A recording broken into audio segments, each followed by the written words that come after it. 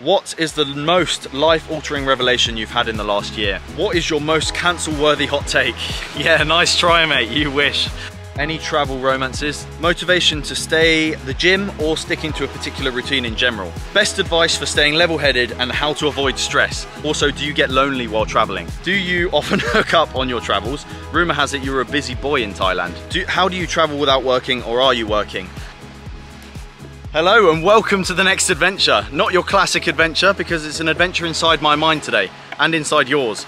Uh, we're doing a Q&A. It's technically the 12k subscriber Q&A, but thanks to you, I'm now on 13,000 subscribers. So welcome. If this is your first one, then enjoy. You're in for a wild ride. I've previously done a 9k, a 6k, and a 2k Q&A, so you can check them out after if you think I'm worthy of your time. Otherwise, the way this works is I asked for a load of questions on Instagram, obviously got submitted far more than uh, ever previously have. It's a bit bright, I'm gonna put my glass on.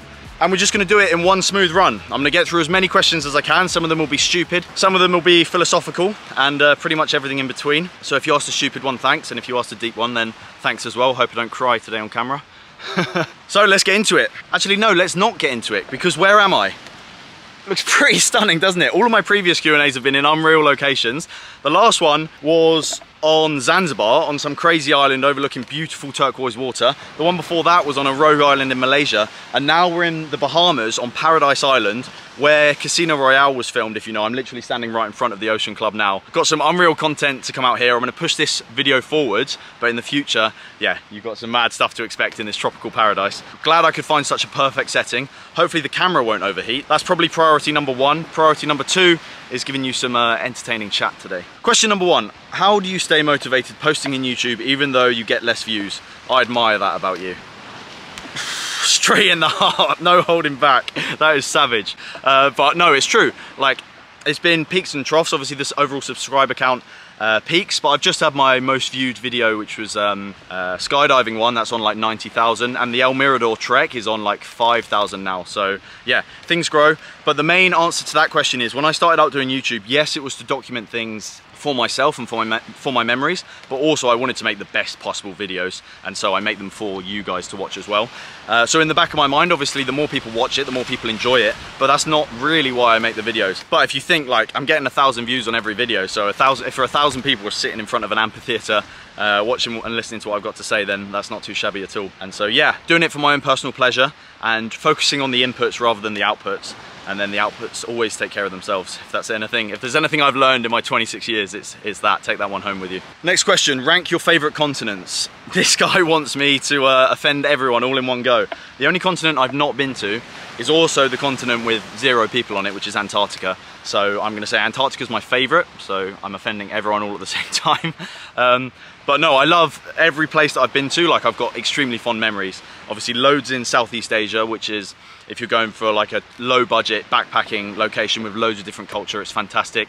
Australasia was sick. I had some friends in Sydney and Melbourne, so haven't really explored that fully or New Zealand, but love Australasia, uh, Australia, and there's plenty more to do there, and I actually have some specific plans there. Obviously Central Asia, still to attack. Sub-Saharan Africa, absolutely adored, and there's plenty more to do there as well. I'm just telling you I like everything basically. Europe, Europe and Southeast Asia are pretty comparable in the sense that each country has its own like individual individuality and individual cultures, but Europe's just far more expensive. Um, but obviously you've got Western Europe and Eastern Europe, with Western Europe being far more explored and Eastern Europe a lot more untapped. So um, I'm gonna go over there sit on the list as well. All of North America so far is just the Yucatan Peninsula in Mexico, which is great, very expensive. Uh, Central America's cool. Uh, I'll get talk a bit more about that because that's what we've just finished and then all of South America still to look forward to. The world's great, mate. Get out there, do some stuff. Don't, it's so easy to get stuck in just where you grew up, your hometown, doing your job, whether it's just like your one week holiday a year or whatever it may be, be adventurous and get out somewhere, experience different things because it changes your whole perspective on life and what's possible. How can I train my shoulders while traveling? Well, mate, you can train them exactly the same way you train them when you're not traveling. Uh, loads of questions in here about staying in shape and fitness while traveling, so I'll give you some specific advice. But essentially, there's gyms all over the world. Like, it's not just your hometown and your country that has gyms. I've been to some unreal gyms. If you watch all of the vlogs, you'll you'll see. So quite often you've got heavy barbells, you've got heavy dumbbells, and you can make it work with your original training split. If you don't have anything, I've got one video uh, which is like body weight training with zero equipment that I filmed like a year ago in the Philippines, more than a year ago now. But the the theory still stands. It's based on fundamental biomechanic principles and getting your muscles to failure with as little weight as possible, maximizing the stimulus available to you. So you can check that out. Here's the thumbnail and I'll put it in the description as well. Uh, but for training your shoulders, depends how strong you are, you can either do handstand push-ups, assisted by a wall or completely free. Uh, you can do pike push-ups where you're like tilting at the hips and the pelvis and then like putting more load on the shoulders rather than on the chest. Um, and you can do lateral raises with, you can find anything like heavy rocks get your shoulders working like that as well. Loads of questions similar to this. Do, how do you travel without working or are you working? Um, I am working and it's so difficult. When I first started a year ago in Southeast Asia, I wasn't working, well I was, I was working on the social media, on the content, that was number one priority, but I didn't have any other humans that I was accountable for since I just left my, my previous job. Uh, same in Sub-Saharan Africa, like working on the socials super hard and now this is the first time I've been managing socials, uh, an employee technically and then also managing my clients as well so lots on the goal at the same time that's what provides the income as things stand and that's what allows me to continue to do the things that I grew up dreaming of doing and explore the places um, that some of you can't go to, some of you want to go to, and some of you have already been to, um, and just living it up for myself. Next question is, can we meet? Uh, maybe, if you see me, then we can meet, say hello. Do you often hook up on your travels? Rumour has it you're a busy boy in Thailand. Well, I've not been to Thailand for five years, so I reckon there's just an extremely devilishly handsome doppelganger that was up to some funny ladyboy business, if that's what you're you're insinuating. um, but no, I haven't been to Thailand, so that wasn't me. The rumours uh, shouldn't stand. What's your favourite place that you visited? This is a very interesting question. It's, well, it's actually a very boring question and a very interesting question because it's so easy to want to rank everything we do in life and say, this is the best, this is second best, this is the worst, but that's not actually conducive or necessary for a happy and successful life. I've had so many fantastic been to so many fantastic places, had so many fantastic experiences, and they're all different because they're with different people in different environments, and it doesn't mean that one is better than the other. Um, it just means they're different for their own beautiful sake. And so I could say the desert in Jordan is absolutely stunning, the Wadi Rum Desert, or the same in, the, in Namibia when I road tripped that for a week, barely seeing any other people. Uh, or diving deep into the cenotes in Mexico, or trekking five days deep into the jungle in Guatemala, or on a rogue boat trip uh, off the coast of Panama. In all of these places, you meet loads of different people, have a vastly different experience and they're all absolutely beautiful. So I'm not going to rank anything, but I've given you a few that obviously first came to mind. So that's a good indication uh, of what was kind of emotionally triggering for me. Next question is favorite watch. And this was asked by G-Shock Man. So I think he knows I'm wearing a G-Shock. Uh, when I'm traveling, I don't like getting mugged, obviously, or having any physical confrontations because it can always get messy. So I wear a Casio GA 2100 and the reason for that is it's indestructible, can lob it at you if I wanted to, um, it wouldn't break, and it's got a light, tells the time, and people generally don't want to nick it because it's not um, worth thousands of pounds or stainless steel. So that's why I travel in this, and then I've got a um, Omega what is it, the moon swatch for like dressing up super light, but so it doesn't, I don't have to carry it around and it also, you can fit it, wear it with a shirt rather than having uh, this because that doesn't go with a shirt. Um, but my favorite watch is probably the uh, JLC Reverso, which you can see me talking about in my conversation with Oscar Strong from Official Watches. Fantastic chat, similar to a Q&A style thing. So I'll link that in the description as well, uh, where I talk about my current collection and favorite watches. How to be too handsome. uh, I'm gonna try and answer this question. It's a bit of a, a rogue one. How to be too handsome. How to be more handsome, I can answer. And it's actually pretty simple. Like there's two ways that men are found more attractive. One of them is social status, and then one of them is physical appearance. They're kind of the two major things that make someone say, oh, this guy's attractive.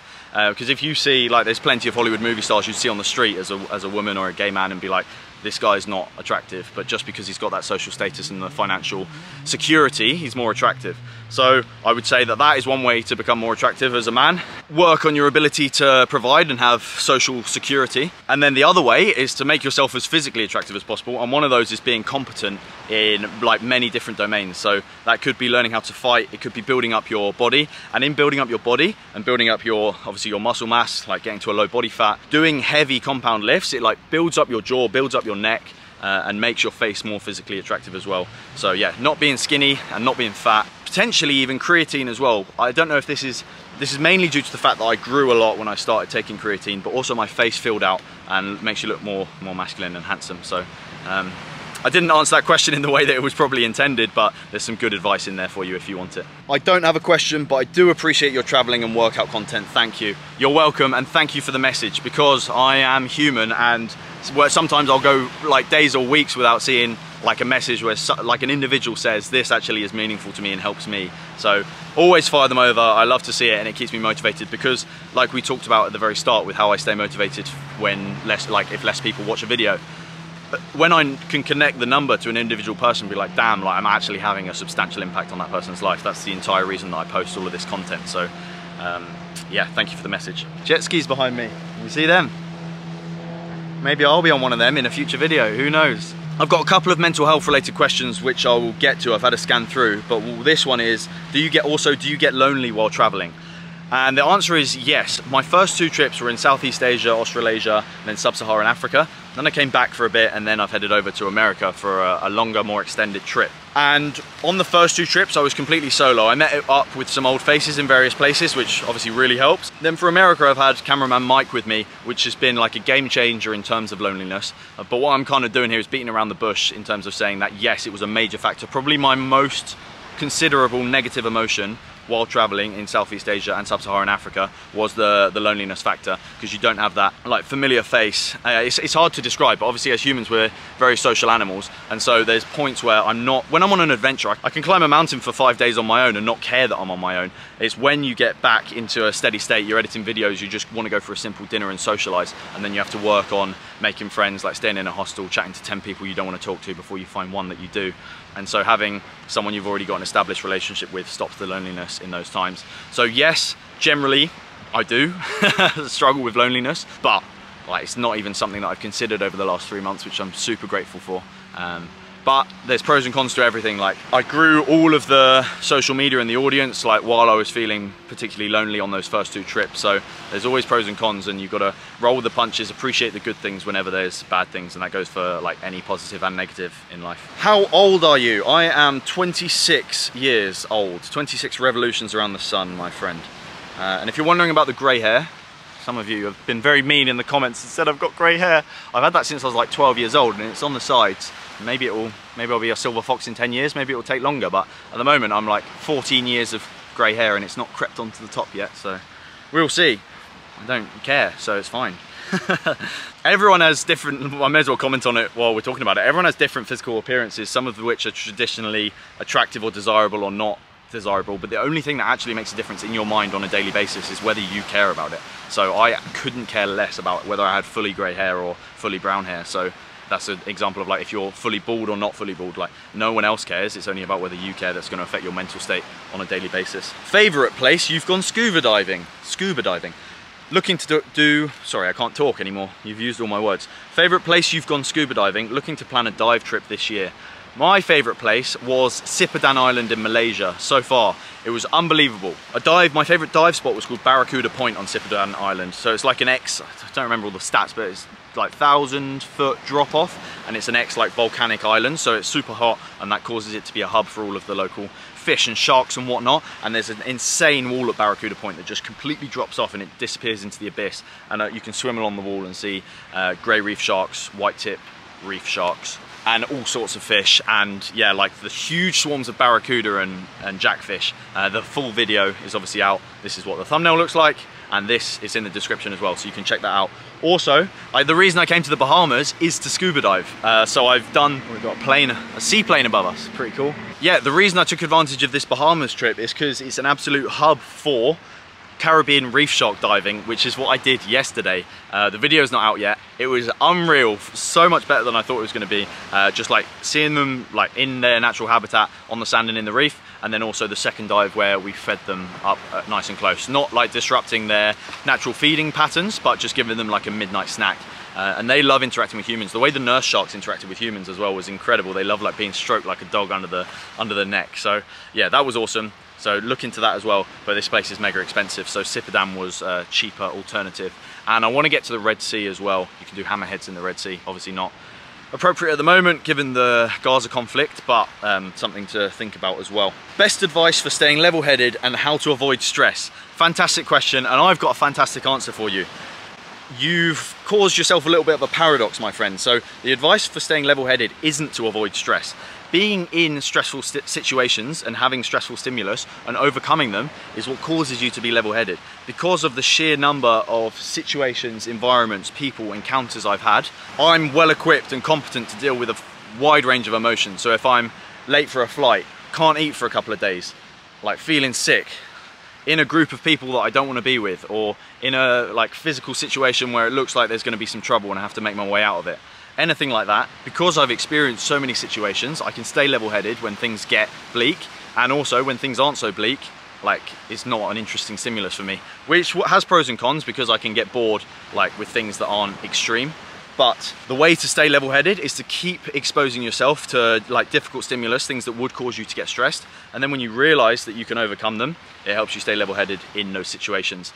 Uh, the other one, the other way is the classic stoic principle of removing your action from the initial impulse. So say someone says something that offends you, don't consider it offending you, consider them saying something and now you've got the opportunity to respond to that however you want to. So you don't have to react to it in an emotional fashion. You can like stoically think about what the best and most appropriate response is, both for their well-being and for yours, so that you can move on and have an optimal outcome given whatever that initial stimulus is.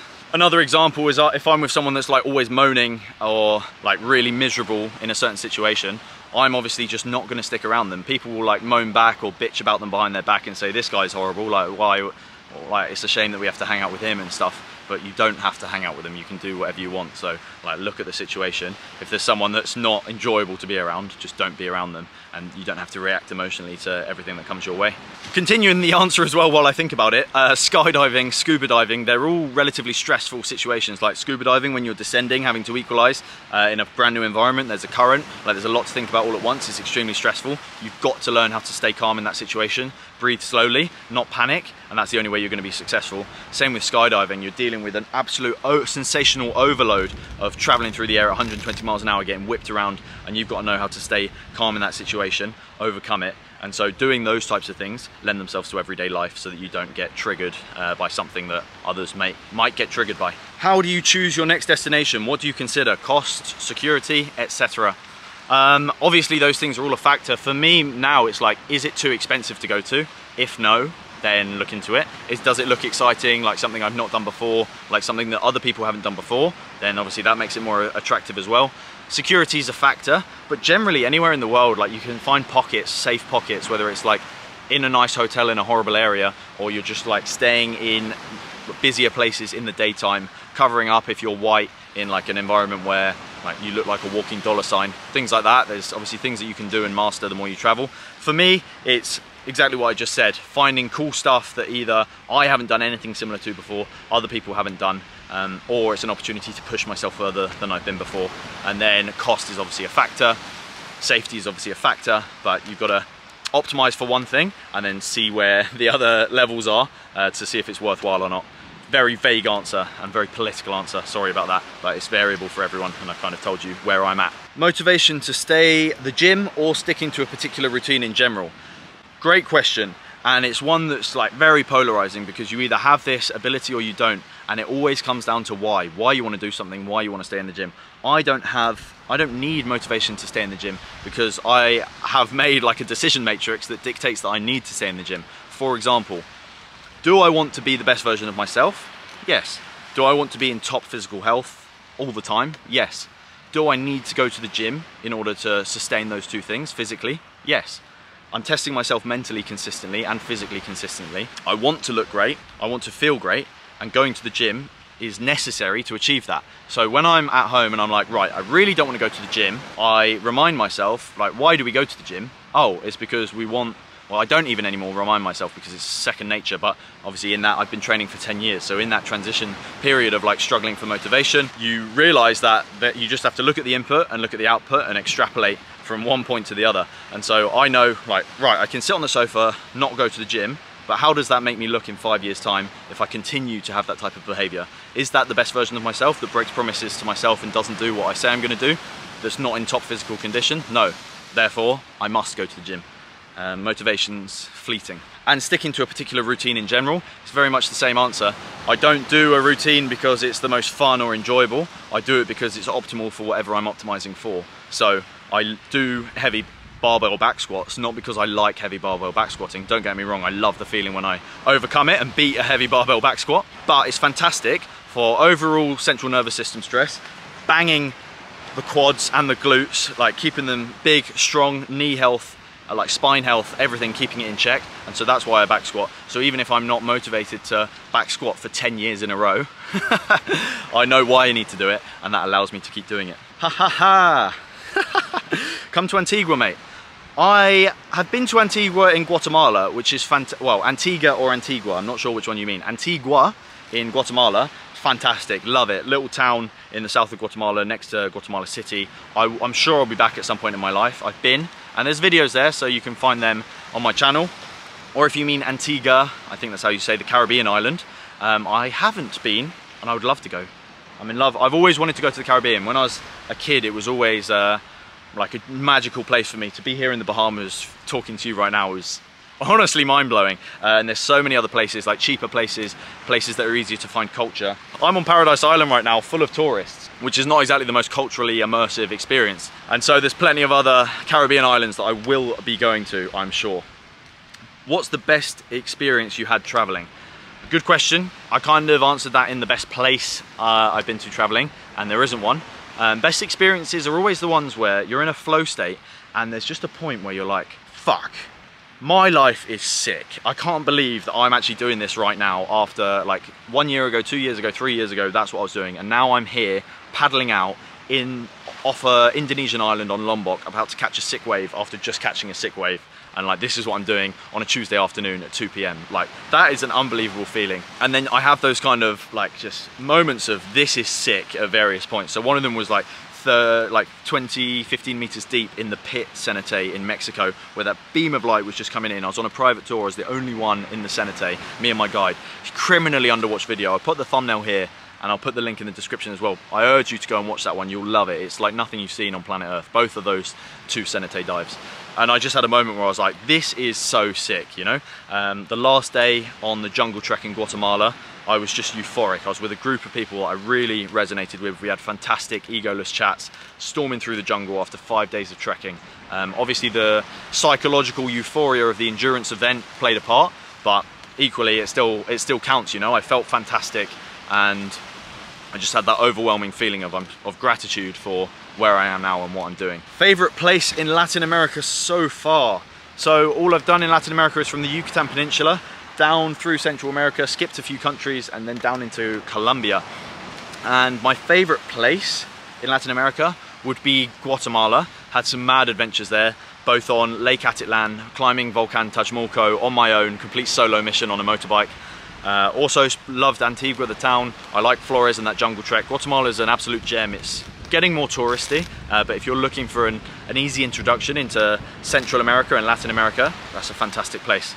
Um, also, a video that's also not out yet is uh, Lake Guatape. I did some incredible adventures on Lake Guatape. I'm not actually going to tell you what they were. You'll see very, very soon. Um, it's right next to Medellin in Colombia, so we had a great time there as well. Also, might just be out around this video is the San Blas Adventures from Panama City. We took a boat, a four day boat trip across the most beautiful islands in the world over to Colombia and then landed semi-illegally in Colombia and then got a passport stamped.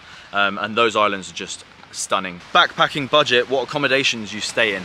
Mm, well mate, I stay in Hostelworld accommodations generally, like when I started, when I was on more of a budget, um, you can go on Hostelworld, see what the dorm rates are, see what the private rates are, see what's highly rated, and just adjust based on your budget. So find a cheap room in a dorm, Like more beds there are in a dorm, the more cheap it's gonna be.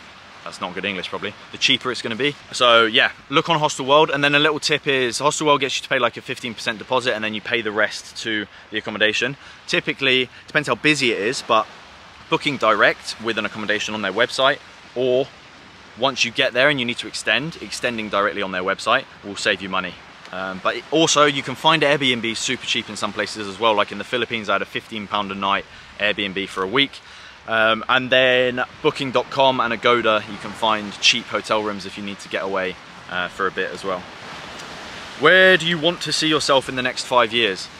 Good question. Like, obviously it's a fantastic question because you get an insight into my mindset about what my trajectory is, how I'm planning to get there, uh, and what the next steps are. But I don't talk about future goals at this point, at this moment in time, because I don't think it's important or a good idea uh, to discuss what you're planning in the future, mainly because you get like a dopamine release of saying what you're gonna do and getting super excited about it, and then you end up not doing it. So I think you should plan and act in silence and work hard in silence, and then achieve whatever output metrics come as a result of that. And so for me, I know where I wanna be and what I wanna be doing and like the state I want my life to be in in five years time. I know what input metrics are necessary in order to get there. And so I just continue doing the work every single day um, and iterate and optimize along that path. Boring, scientific, mechanical engineering type answer, but that is my answer, so I hope that helps. What is the most life-altering revelation you've had in the last year? Very deep question, probably the deepest one I'll answer, so stop the video after this, you don't need to watch anymore. it was probably around just under a year ago, and it was I always talk about bodybuilding being a microcosm for everything you want to achieve in life so you start in a certain position you don't see changes on a daily basis and then all of a sudden the work the hard work and the results compound and then all of a sudden you're in a completely different position to where you started and you're unrecognizable to your previous self and even though on those days where you're not motivated you don't feel like doing it you don't feel like you're getting anywhere you can look back at the whole picture and be like damn I actually can achieve whatever I want to if I do the work stay on the right path and be patient. And so I knew that after I achieved the body that I wanted from my skinny, unconfident starting position, I knew that I could extrapolate that to other areas of my life and achieve what I wanted to, but I didn't have any concrete evidence that that was possible. So after I achieved the body that I wanted, I had a relatively successful career in operations management and like my future mapped out for me and I knew if I continued to put in the work I could continue on the same path and have a like fantastic career but it just wasn't suited to my psyche and what I wanted to achieve and so then I went on this on this path and starting the social media not getting any traction just input metric input metric doing your best doing your best doing your best not worrying about the output all of a sudden success because you've done the work, you're not worried about the output, you're continuing to optimize and just doing your best, then you find the success. And so that was obviously in the last year where I had like a, a major breakthrough uh, and the audience grew quite a lot. And so now I have like two, three very considerable data points that I can do anything that I want to as long as I put the work in and put my mind to it. Um, that actually sounds pretty cliche when you say it like that, but it's all about how you internalize things and I know that's true and that's pretty life altering. So now I'm just full steam ahead on my goals. Do you have a video on how to be a good tourist? I think some things are intuitive, but not all. I think that's a fantastic question and it's not something I've ever considered before. By be a good tourist, I don't think you mean be a successful tourist or like how to be good at tourism. You mean how to be a respectful tourist. That's how I've interpreted the question. And some people get it right, some people get it wrong. The culture of where you're going changes dramatically depending on where you are. And so that's probably the main thing that dictates whether you're going to be a good tourist or a bad tourist, is your ability to morph into that culture, understand the way it works and be respectful to it. So obviously, if I'm in Dubai, I'm not going to be walking around with my top off in the middle of the mall. Otherwise, I don't even know the, the law, probably sent to, sent to jail. Uh, or like PDA, public displays of affection in Dubai, obviously you know that's a no-no, so you don't do it. And equally, like somewhere like the Bahamas, this was a huge culture culture shock to me. Uh, it's very, it's got an extremely British heritage because we ran the country until 50 years ago. This year is when they got their independence. And then equally, all the rich Americans come over here as a holiday destination. So the Bahamian dollar is tied one to one with the US dollar, um, but everyone here speaks English, obviously, because we founded America and founded uh, the Bahamas. However, there's a huge cultural difference in terms of US humor and British humor and then Bahamian humor as well. There was a story yesterday, I was on the boat shark diving and when you're diving, you use baby shampoo to like rub into the mask to stop it fogging up. So the guy at the end of his speech is like, any questions? And I'm like, yeah, do you have any baby shampoo? Like, because sometimes people don't use it, you just spit in the mask, sometimes they do. He knew exactly why I was asking for baby shampoo, yet he said, yeah, why, uh, or he just said, why do you want baby shampoo? And I was like, for the mask, like to stop it from fogging. And he said, look, what's that behind you? So I turn around and I'm like, yeah, baby shampoo. And he's like, there you go. And if you did that in England, like you're an absolute prick. That's completely rude and unreasonable thing to be like to a paying customer as well. Like, what's that behind you? Like, shut up, you knob. but I don't know, I'm in a new culture. I'm in their country. So I'm not gonna start kicking up a fuss about like the way that he's speaking to me or whatever, because I'm the tourist here. I'm like technically an immigrant for all intents and purposes. So it's my responsibility to learn the culture and like learn the humor. Maybe that's the way that they joke, or maybe he was just a prick. I don't know, but I found that some abrasive personalities in the Bahamas in general. So yeah, potentially that's that's that. The same with if I'm in a supermarket or walking around in a street and all the locals are walking really slowly and I'm in a hurry trying to get somewhere, like I'm not gonna, and people are like in the way. I'm the tourist, I'm the immigrant. I'm not gonna like budge out the way and be like, why are you walking so slowly? Like that's rude and disrespectful. I'm in their country. I have to operate in a way accordingly. So yeah, I'll potentially make a video on being a good tourist, but they're kind of two things that, that stand out. Just remember your, your place and the fact that you're a visitor and you have to adhere to um, whatever is appropriate in that place. What is your most cancel worthy hot take? Yeah, nice try mate, you wish. I'm not gonna get cancelled that easily. Uh, if I Maybe if I'm on a podcast and I get put into a corner and asked some difficult questions, you'll, you'll get one out of me, but I'm not committing suicide, thank you. Um, I am getting burnt though, maybe, or I'm getting a lot of sun. It is exactly midday. Well done, Adam. Very wise time to uh, to do a Q&A. And the next question is, do you wear sun cream? So what I'm gonna do is answer that question and then reapply to my face. uh, yes, I do wear sun cream.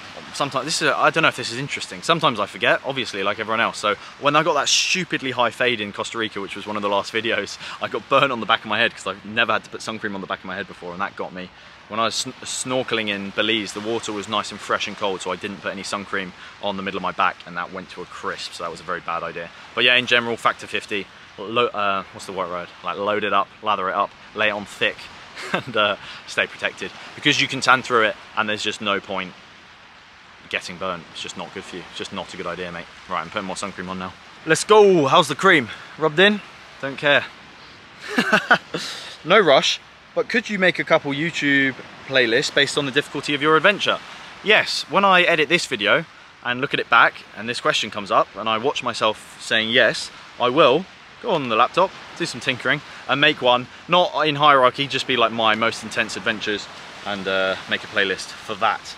Is there anything in the US that you want to see someday? Yes, lots of stuff. It's a huge country, loads of states, loads of culture in each state.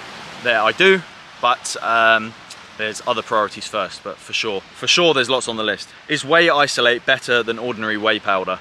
It depends entirely on your goals. If you want, essentially the difference is whey isolate is just no lactose and no fat and no carbs basically, whereas whey powder has slightly more carbs, slightly more fat, and it has lactose in it. So if you struggle to digest lactose, then you want whey isolate. If you're trying to lose weight while maximizing protein, minimizing carbs and fat, uh, or minimizing carbs and fat from your whey, then obviously you would go for isolate in that scenario as well. If you're bulking and you have no problems with lactose, then, or just like at maintenance, then whey powder is absolutely fine.